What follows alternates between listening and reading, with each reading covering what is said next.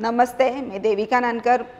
मुझे पाँच साल पहले ब्रेस्ट कैंसर डिटेक्ट हुआ था, लेकिन मेरी सब ट्रीटमेंट प्रशांति कैंसर केयर में डॉक्टर कॉपी करके ऑब्जर्वेशन में ठीक तरह से हो गई और लास्ट उसके बाद मेरी मदर इन लॉ को, मेरी सासू माँ को डिटेक्ट हुआ। हाँ वही एडवाइस दिया डॉक्टर कॉपी करने भी। को वहाँ फॉलो करती हूँ, किसी को भी रिकमेंड करती हूँ। अगर एक बार आप डॉक्टर कॉपी करके यहाँ गए तो आप पूरी तरह से जैसे हमारे खांसी या सर्दी हो जाती है, हम कैसे ठीक हो जाते हैं? इसी तरह से मैं पूरी तरह से ठीक हो गई हूँ। कैंसर क्या है, मुझे पता भी नहीं है।